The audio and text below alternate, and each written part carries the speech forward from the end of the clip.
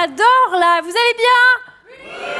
Ah, ça me fait très plaisir d'être avec vous ce soir. Je suis très contente de faire euh, ce TEDx avec vous. Donc voilà, là c'est le moment fun. Euh, le moment fun, c'est moi. Donc on n'hésite pas à se lâcher, ok? Ça va aller? Oh, oula, d'accord. Non, je, mais je, sens que vous êtes déjà très très chaud. Euh, là, on a eu l'intervention de Christophe Moron euh, qui a frôlé la mort. Ensuite, vous avez eu euh, une intervention de 18 minutes en allemand. Honnêtement, j'ai jamais eu des premières parties aussi mortelles. Ah. Non, non, mais je, le sens un peu là que, la première partie, enfin la personne avant moi là qui a parlé en allemand, Gregor Hausler, je, je, sens que ça vous a un peu achevé. Euh, je, vois vos visages. Il y a déjà la moitié du public qui est au bout de sa vie. Euh, non, mais c'est sympa parce que moi, je dois vous faire rire, donc j'ai un petit peu l'impression d'être un clown aux soins palliatifs. C'est cool. Alors, personnellement, j'étais complètement larguée pendant que Grégoire Hasler euh, parlait. Hein, je ne parle pas du tout allemand. Alors, je ne sais pas vous, mais j'ai compris aucune de ses blagues. Rien du tout. le seul truc du speech de Grégoire Hasler que j'ai compris, c'est LSD et Grégoire Hasler. Voilà. Et pourtant, je ne sais pas vous, mais j'ai fait euh, des cours euh, d'allemand à l'école et c'est dur l'allemand, vous trouvez pas? C'est dur. Même le français, je le maîtrise mal, hein, et pourtant c'est ma langue maternelle. Je le parle tous les jours, mais honnêtement, je connais ma syntaxe. J'ai max un B1. Voilà. Du coup, euh, j'étais assez stressée pour faire ce speech. Hein, ça me, j'étais pas très bien, et on m'a dit non, mais t'inquiète pas, te mets pas la pression. Le but du TEDx, c'est juste de diffuser des idées qui en valent la peine. Bon, bah c'est là que j'ai su que j'allais pas vous faire mes vannes sur les aspirateurs, à moins qu'elles sont aspirantes. Voilà, première leçon du TEDx, ne jamais faire de jeu de mots. Hein, ça devrait être interdit. Euh, mais je suis très contente d'être là. C'est vrai, après quand on m'a convoqué pour le, TEDx, je me suis dit, purée, euh, mais ils se sont trompés sur le candidat. Tu vois, moi, je suis personne, j'ai jamais rien fait de ma vie. Bon, après, j'ai su que c'était pour TEDx Fribourg. Bah, disons que ça peut être très difficile d'être exotique. Voilà. Hein. Par exemple, alors ça va peut-être vous surprendre, mais moi, plusieurs fois par semaine, je prends des douches. Ouh, ouais, c'était la première vanne cliché de la soirée. Je pense vous met huez. Allez, huez-moi. Allez, on y va. Super, j'adore me mettre le public tout de suite dans la poche. C'est cool. Alors, très important, quand tu fais un grand voyage à l'étranger, il faut s'informer euh, sur les expositions à visiter. Donc, euh, avant d'arriver à Fribourg, j'ai regardé. Actuellement, vous avez la 37e édition du traditionnel exposition Poussin. Moi, j'ai vu ça, j'étais ah mais génial, le peintre. Non. Vous avez une exposition sur le Poussin. Non, mais ça m'a rassurée. Hein. Je me suis dit, bon, ça, pas trop de pression pour le TEDx. Non, mais si pour vous, le poussin est assez énigmatique pour lui consacrer une 37e édition, ça va Franchement, j'estime être un petit peu plus énigmatique qu'une nugget. Ça va. Oui, voilà, la nugget, hein, c'est clairement l'estime que j'ai de moi-même. Non, mais parce que ce soir, je sais très bien que si je suis avec vous, c'est uniquement pour vous rassurer. Je le sais. Bah si, non, parce que là, vous allez entendre des gens fascinants qui ont vécu des choses inouïes. Et après, il y a moi qui fais des jeux de mots sur les aspirateurs. c'est pas ouf, quoi. Pas... Ah, je sais que je ne suis pas là pour le quota féminin, hein. je suis là pour le quota banalité. Vous, monsieur, vous appelez comment euh, au deuxième rang, là Au milieu? Alain? Voilà, bah, Alain, c'est très important que tu saches que moi, je suis vraiment comme vous. Hein. Dans la vie de tous les jours, je suis quelqu'un de timide. Euh, je descends de scène, je suis comme toi, Alain. Hein. J'ai plus de charisme. Et c'est bien de le noter, ça. Donc, euh, donc oui, l'exposition du Poussin. Moi, j'adore euh, euh, les expos, hein, j'adore les musées. Par exemple, je, trouve ça fascinant. Par applaudissement, est-ce qu'il y a des gens qui aiment les musées? Ok, on est cultivé, ça fait plaisir. Alors, moi, j'aime bien les expos. Après, c'est vrai que je trouve qu'après avoir piétiné pendant plusieurs heures, on est tous un peu pareils. On se dit, putain, fait chier, moi aussi, j'ai envie d'être en fauteuil roulant. Là, l'autre jour, par exemple, j'étais au Louvre, il y avait un mec en fauteuil roulant, j'étais à lui demander de m'asseoir sur ses genoux. Bon, après, j'ai vu qu'il n'avait pas vraiment de genoux, donc j'ai pas. Bref, donc, le thème de ce TEDx, c'est le voyage. Alors, c'est vrai qu'entre la crise climatique et euh, la crise écologique, bon, le voyage, c'est devenu un concept un petit peu abstrait. Hein. si on suit cette logique, l'année prochaine, le thème, ce sera l'orgasme féminin. Mais sinon, le voyage, j'aime bien. J'aime bien. Euh, enfant, j'ai eu la chance de faire des grands voyages avec mes parents. Je suis allée dans des endroits de folie, vraiment. Je suis allée euh, en Tanzanie, en Islande, au Locle. Là-bas, comme, euh, comme Monsieur Moron, j'ai vécu une, une nearly death experience. Bah, rien que d'être au Locle, en fait, mon âme, elle s'est fait la malle. Hein, mais c'est super, j'ai aussi voyagé euh, beaucoup grâce à l'humour. Je joue dans plein de villes euh, différentes tout le temps. Et euh, ça, c'est une chance de dingue. Par exemple, bah, ce soir, je suis avec vous à Fribourg. C'est génial, Fribourg, j'adore. Hein? Vous n'êtes pas convaincus, c'est votre ville, hein, vraiment, défendez-la. c'est super. Fribourg, je trouve ça dépaysant. Vous trouvez pas? Hein? Mais ça, c'est quand même l'avantage quand tu es genevois, tu pas besoin de prendre l'avion pour arriver dans une zone en voie de développement. Hein. Ah, il suffit de faire un TEDx à Fribourg. Euh. Oh, ça va, je vous taquine. Non, moi je dis ça parce que je suis genevoise. Et euh, d'ailleurs, on dit très souvent que les genevois, euh, c'est un petit peu les Parisiens de la Suisse.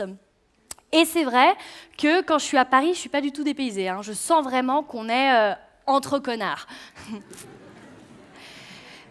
Oui, il y a un anti-genevois qui se prononcer. Mais, j'adore en vrai la Suisse, évidemment, Fribourg, je vous taquine. Je trouve qu'on a une chance de dingue en Suisse. Il y a de la verdure partout. Ah, c'est fou ce truc, il suffit de s'endormir dans un bus pour basculer dans l'univers de Martine à la ferme. Ah, tu te réveilles, il n'y a plus rien autour de toi, tout est en terre battue, j'ai deux petits cochons, ils te font coucou avec la queue. Paris, c'est un autre délire. Hein, si tu t'endors dans le métro, tu te réveilles, il y a un porc qui te fait coucou avec la queue. C'est moins bucolique. Hein, c'est moins bucolique. Alors après moi je suis euh, donc euh, suisse, je suis aussi italienne, je m'appelle Cinzia, euh, c'est un prénom que les gens ont excessivement du mal à prononcer, hein, il est assez atypique, si bien que si tu le prononces juste du premier coup, limite ça me choque. Je te jure, tu prononces juste du premier coup mon prénom, physiquement je sens que ça me fait quelque chose, j'ai ah, presque envie de coucher avec toi. donc non André, je ne vais pas insister sur la prononciation. pardon? Tu t'appelais pas André? Comment tu t'appelais Alain Ouais, bon, c'est la même chose, hein, c'est pas non plus. je plaisante. Alain Alain, je. Pardon c'est Fabio. Ah, t'as donné un. Ok, donc tu ne me respectes pas jusqu'à la fin. Ouais, vraiment, on me chie dessus. J'adore. Fabio Ok, c'est vrai que c'est encore plus moche qu'Alain. Bref, allez. Euh, donc, euh, donc euh, oui, j'ai aussi cette chance donc, de voyager euh, par l'humour. J'ai fait beaucoup de, beaucoup de voyages. Je suis aussi donc italienne. J'ai beaucoup d'amis en Italie.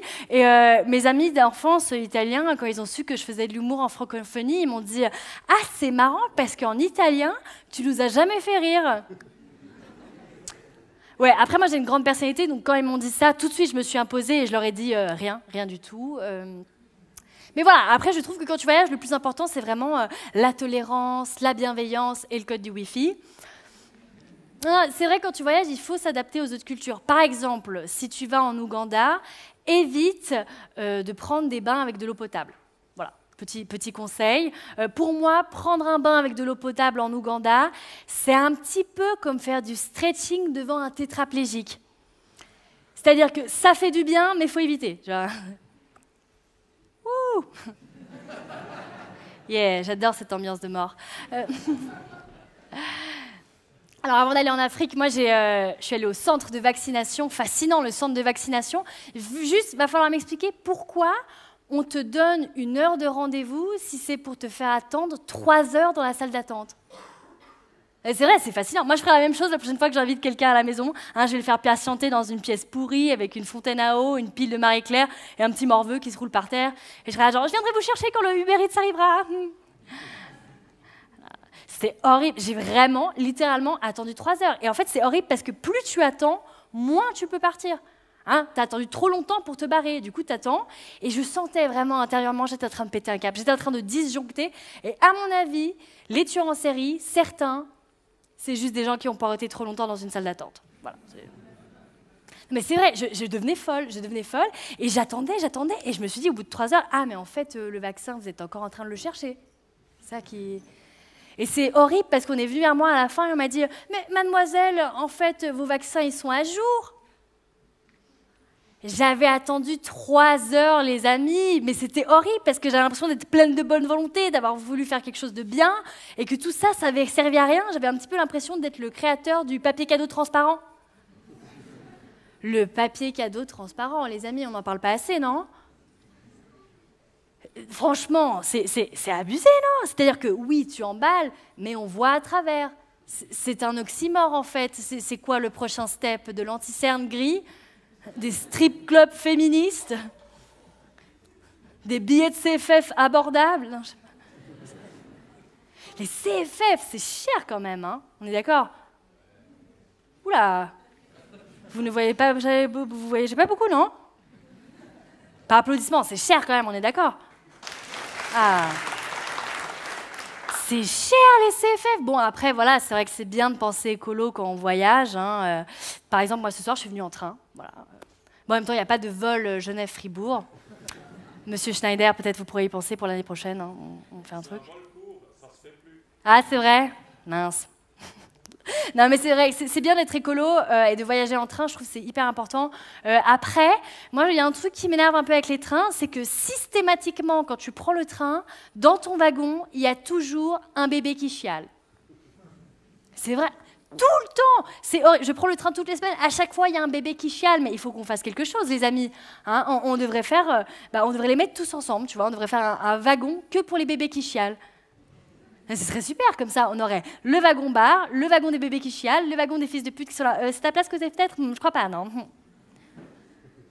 Ah, c'est vrai, c'est horrible. Et tu sais, en plus, moi, ce qui m'énerve le plus dans, le train, c'est que, tu vois, quand tu dois te déplacer, que tu es un peu pressé, les enfants, du coup, tu peux pas les dépasser vu que c'est un couloir. Et ils sont là, ils font les premiers pas. Et moi, j'estimerais que ce serait OK. Si tu es un peu stressé, tu as passé une bonne grosse journée, paf, balayette, on a le droit. Voilà. Non, mais c'est pas que j'aime pas les enfants, mais en même temps, qu'est-ce qu'ils apprennent à marcher devant nous? Pourquoi ils le font pas ensemble Tu vois, tous les bébés, ils devraient apprendre à marcher ensemble, tu sais, en mode team building. Non, ce serait génial. On, devrait faire un fitness pour les enfants qui apprennent à marcher. Bah, quoi? On a bien des fitness pour des sportifs qui apprennent encore à parler. Il y en a qui croient que, je sais pas c'est qui. Enfin bref, j'essaie d'être écolo quand je, voyage, et je voyage beaucoup avec l'humour, et euh, je me déplaçais beaucoup en vélo, euh, sauf que l'été dernier, j'ai eu un, accident, je me suis pété la cheville. Ouais, ouais, je me suis pété la cheville, et, euh, vraiment tout cassé, c'est-à-dire que le pied est sorti, il s'est retourné. violent, hein, donc je crois pas que c'est ce qu'on pourrait dire que c'est de la mobilité douce. Et quand les médecins, ils ont vu ma jambe, ils m'ont dit « Ah, c'est pas sympa ça l'été !» Honnêtement, je crois pas qu'il y a des saisons aussi sympathiques. Hein. Triple fracture de la malléole et fracture du tibia péroné, même avec une raclette, c'est pas. Mais c'est comme ça, le voyage. Tu as des accidents, des aléas, des rencontres, et c'est ce qui fait que c'est magnifique. Hein. après, on, on, écrit des histoires, c'est marrant ou pas, mais voilà, libre à vous de juger. Mais c'est ça, le voyage, c'est beau, c'est des rencontres, c'est des rires, c'est des gens qui te font pleurer, c'est des gens qui te font vomir, c'est magnifique. Le voyage, c'est toi qui te lèves à 6 heures du matin et hop, dans la dernière minute, ton train, il est supprimé. Euh, le voyage, c'est poussins et des poussins. Le, voyage, c'est toi qui me mens sur ton prénom. le voyage, c'est le voyage, c'est génial, les amis. Et vraiment, je suis tellement heureuse de pouvoir énormément voyager grâce à mon métier et l'humour. Alors j'espère que ce soir, j'aurai pu vous faire voyager avec mes blagues. Merci beaucoup, c'est tout pour moi. Merci.